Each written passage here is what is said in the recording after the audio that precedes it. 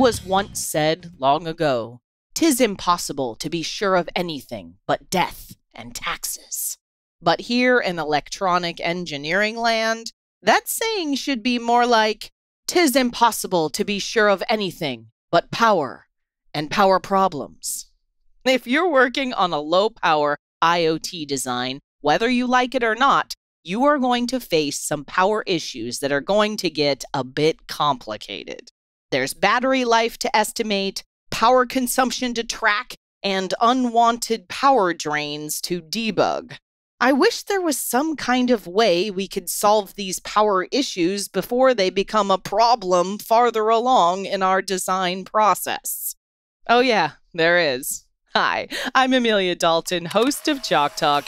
Yes, there is a solution to your low power wireless development needs, and you need to look no farther. My guest today is Kristian Sæther from Nordic Semiconductor, and we are talking about the new Nordic Power Profiler Kit 2 today. Kristian and I delve into the details of this new power profiler, including how it can measure actual current help you configure the right design settings, and show you a visualized power profile for your next design. And before we get started, don't forget to click that link.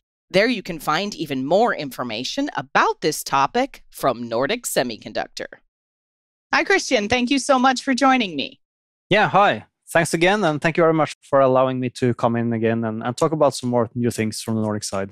Absolutely. Okay, so we're talking about the Power Profiler Kit 2, which is a brand new kit from Nordic Semiconductor. So, Kristian, before we get started, what are the key highlights we're looking at here? Yeah, that's true. As you said, it's a brand new kit from us. Maybe you know we have something already that we call the Power Profiler Kit, the original one we released a few years ago, and that's why we are at number two now. So the key things about this kit is that we now have ensured that we can measure much higher current and much higher range than in a previous generation. So we now measure everything from roughly 200 nanoamp, so support down to the deepest sleep mode, and then up to one amp.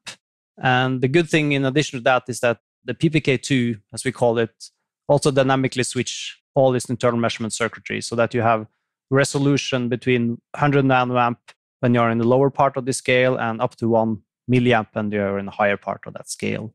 And this is, of course, as time goes by, we have derived new products with more complexity.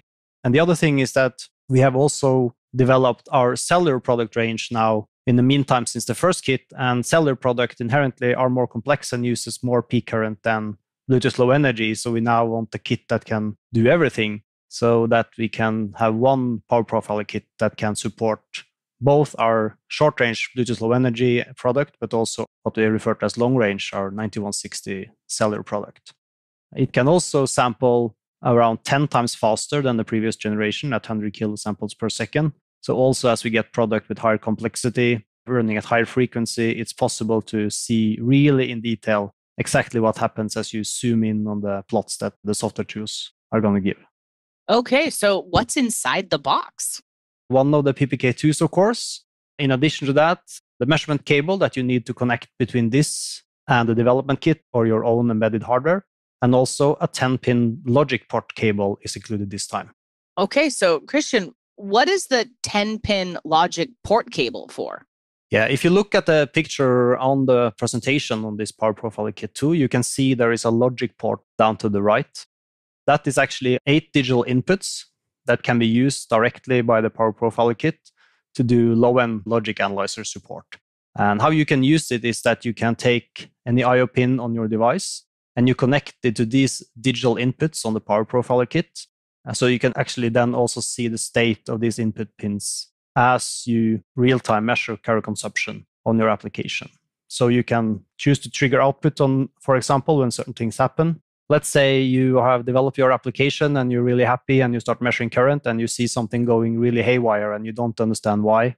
That can be really hard to debug to find exact those spots in the code where things goes wrong. So you can then start to toggle some pins at some certain parts of your code and then when you see pin toggles and you then monitor power at the same time you can actually use that as a really great debug feature to see and narrow in on where have you done something wrong in the code that make things behave very differently than what you thought.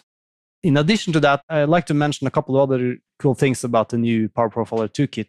We actually have different user modes that you can select between. So you use it as an ampere meter, of course, so you measure current, but we also have this source meter mode now. This means that you can actually power your device directly from the PPK2 kit and an output voltage between 0.8 and 5 volt and a peak current up to 1 amp. Meaning that, especially if you have your own embedded design, you may not have USB power or you may not have a power source nearby. You can now actually power everything through the Power Profiler Kit 2 if you don't use exceeding a lot of power then compared to what this supports, up to 1 amp. It is also completely standalone. That means that you don't need any debugger or anything in addition to this to connect it to the PC and get power measurements. You only connect USB cable from the Power Profiler toolkit and to the PC, where you run the software to see all the plots and all the power cycles. Okay, so Kristian, can you also talk about the software part here? Do you have anything new here with the Power Profiler Kit 2? Without software, you, you can't really see anything because everything is happening on the PC side on this kit. Before I, dive into that, maybe I should mention shortly that we also have an online tool, which we call the Online Power Profiler. This tool is really a complement to the Power Profiler Kit 2 because that's a pure software tool where you basically set some settings on the device that you want to use, and then you see a estimated power consumption. But what you can then do, you can see the settings here, and you can then recognize typical waveforms that you should have if you do your application correct versus the measurements that we have in this model. The other thing that you can do with this online power profiler is that you can export your settings into a real application example. So when you run that application example on the NRF 9160 development kit, for example, and measure actual current, you can compare these settings from the online power profiler to your real world results and see if you achieve the same current and optimal current versus what you have modeled when you do this online power profiler. And then let's get into what you originally asked for, right? What software do you need to run with the Power Profiler Kit 2? The first thing you need to do is to download and install what we call the NRF Connect for Desktop. And this is the overarching cross platform development software that we have for our Bluetooth Low Energy and Cellular IoT devices in Nordic. And this is available for Windows, for Mac OS, and for Linux. You install that from our webpage. And once you install that, you then can install various apps, as we call it, as you need to do different things. And here you have this new Power Profiler app that you can basically install. Once you've done that, then you connect your Power Profiler Kit 2 with USB, as I mentioned, and you can start measuring your application. If we then look into the actual app, here is a screenshot, and I have a little video later when I go into an example that we can show to some more detail. But here you can basically see in the top left corner that you can configure your Power Profiler 2 kit, whether you want it in source mode or ampere meter mode, for example. You start and stop, and you can also see which pins are connected for this logic analyzer. If you then look at the whole plot here, you basically see here a typical cycle running on an NRF 9160 that is connected and then going back to sleep. On the bottom uh, here, you can see what is the average per consumption that is through the whole cycle that you have measured. What is the peak, what is the minimum, and what is the total energy that you have consumed. And on the bottom side, you see also the state of these logical pins that you have. So here you have a very smooth and, and nice looking interface so that you can basically see the complete profile. You can then start and stop and go back in in real time as you want. You can zoom in and you can zoom out and you can click and select certain part of this cycle to see your average peak and maximum current together with your total spent energy just in that cycle. And I will show you a little bit of that later.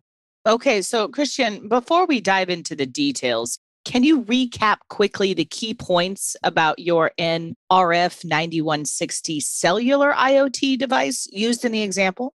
Yeah, sure. There's an example where we use our NRF 9160. This is our uh, cellular IoT device. It's a small, highly integrated module measuring 10 by 60 millimeter in size that supports uh, LTE-M1 and narrowband IoT connectivity and also have GPS.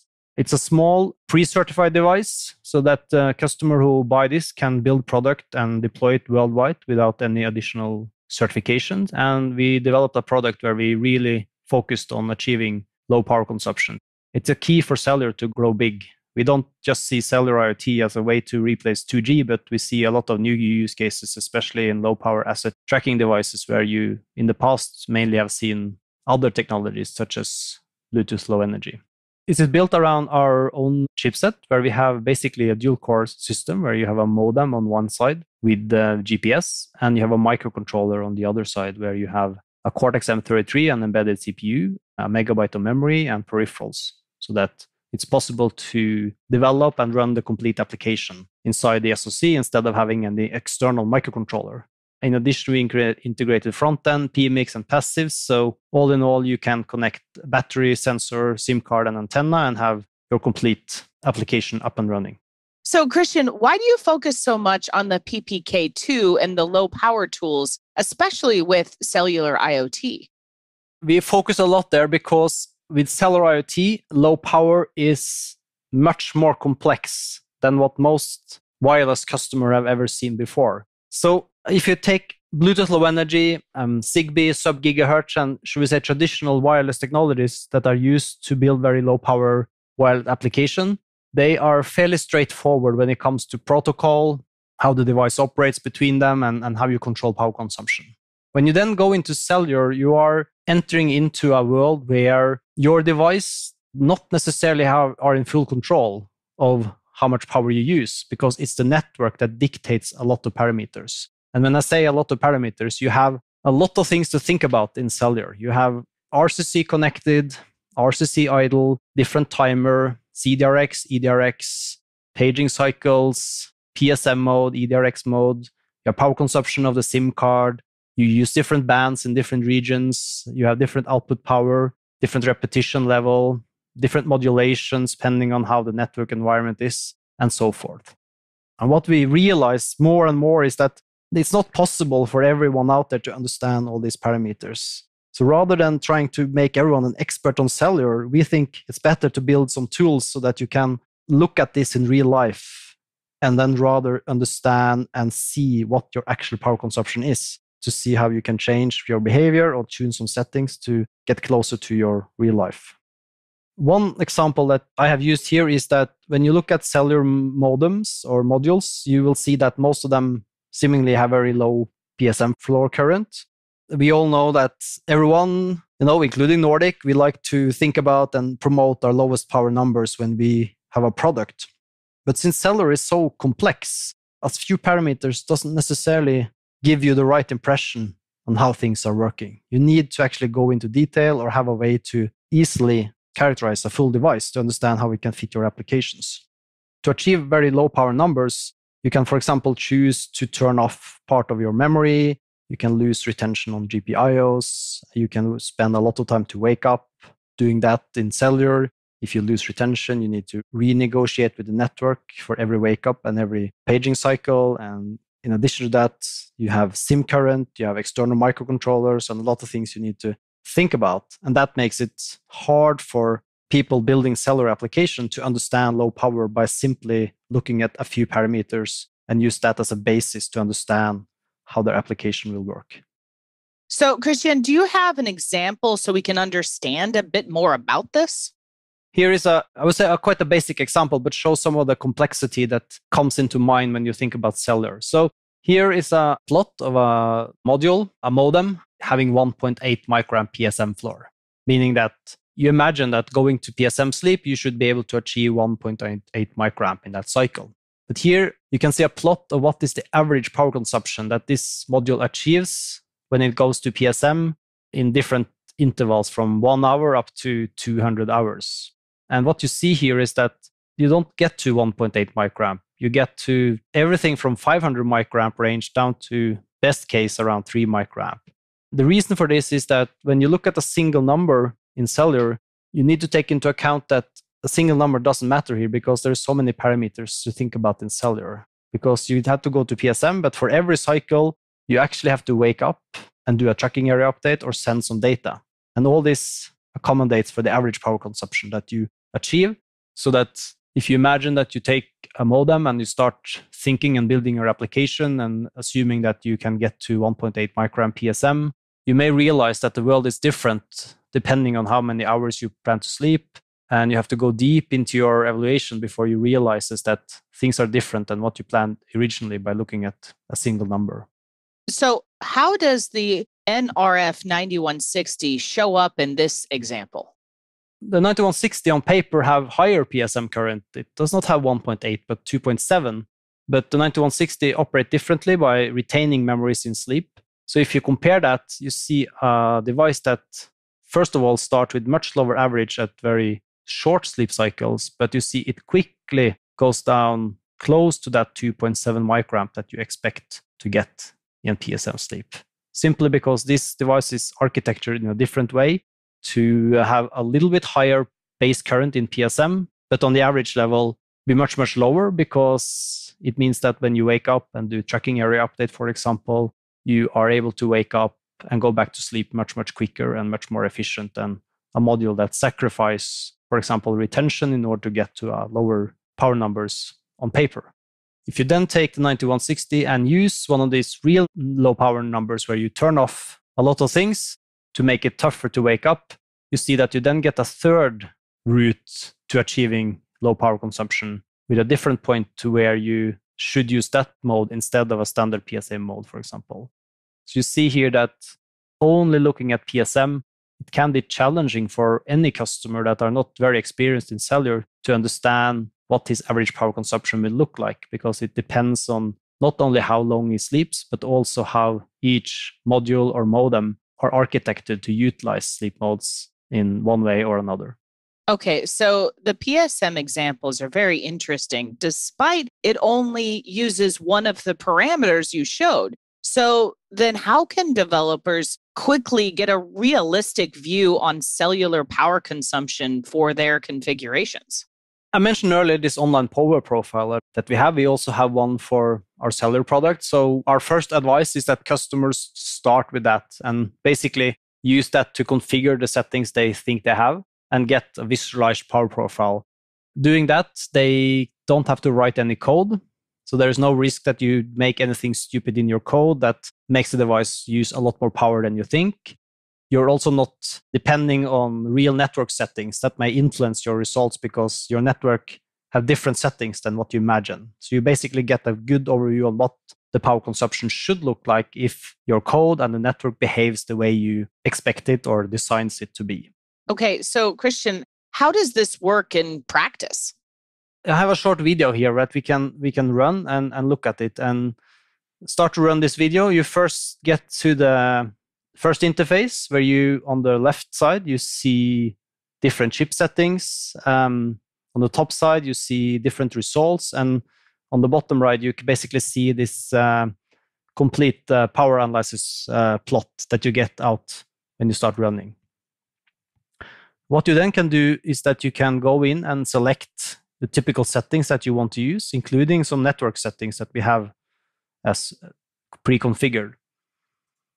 Um, then you choose to set how long the device is active. You can choose to select if you want to use um, EDRX and how long you want the intervals to be. So basically how long you want to sleep in an EDRX cycle. You then choose if you want to send data, basically saying you want to upload data.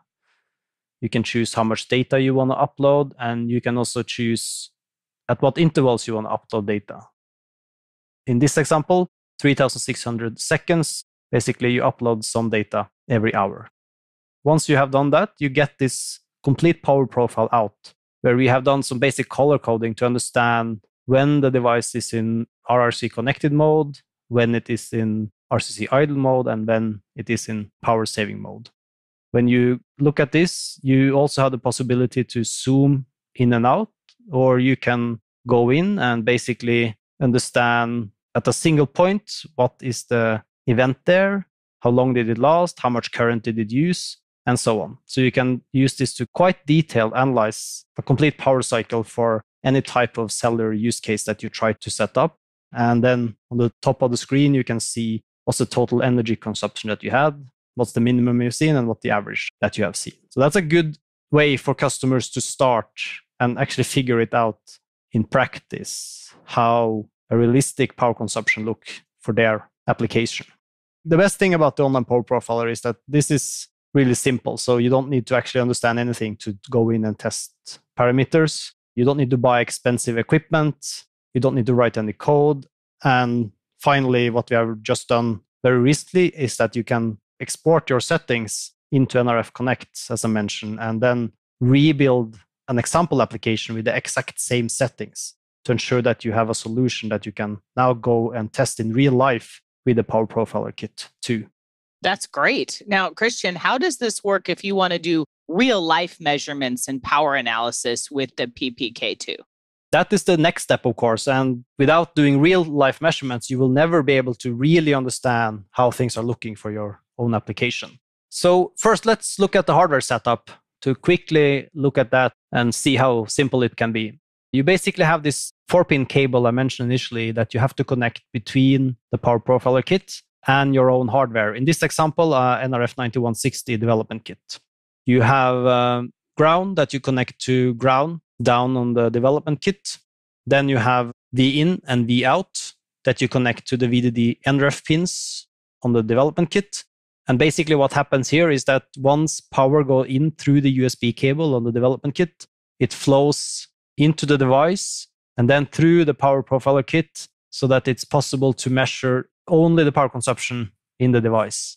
But as you see here, it's important that you understand that this power profiler kit is not designed to only work with our development kits. If you build any embedded hardware, you can do it the same way if you just follow our user guide on how you develop the hardware to be able to measure power consumption on your kit.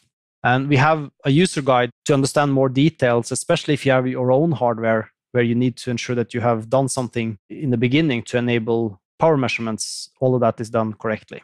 So just go to a web page and, and find that user guide if you need more detail than what is shown here, of course. So also for uh, the Power Profiler Kit 2, I have a short video trying to explain how that looks. So if you look at this video, uh, you see also here that uh, on the left side, you select mode. So here it's in source meter.